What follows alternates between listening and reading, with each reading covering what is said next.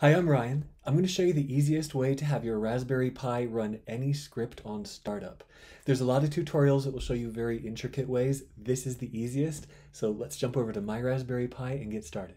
So the first thing to do is go in the description and grab my code. It's a very simple program. It just writes to a log file once a second, and I want you to use mine, make sure it works, and then swap in yours. So this script called logging test, I have at home pi code test. And what I'll do now is I'll open a terminal, I'll type crontab minus e, and make sure you don't use the sudo command.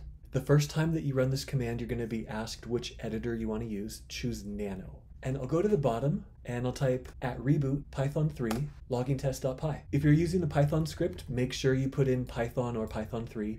Even if you have it as an alias, you still need to say Python 3. And if you're just going to be using a shell script, you just say at reboot and then you list the path to your shell script. So I'll press Control X and then I'll type Y for yes. And just to make sure it worked, I'll run crontab minus E again. And at the bottom, we have it here. Control X to get out. So I've just rebooted and to test that this worked, I go to home pi code test. I have the output here, but I want to see it update live. So I'll open it up in Visual Studio Code. I'll look at the output and there we go. It's updating live for us. So now you can take out this script and swap in the one you want to use. I hope this helped. Thanks.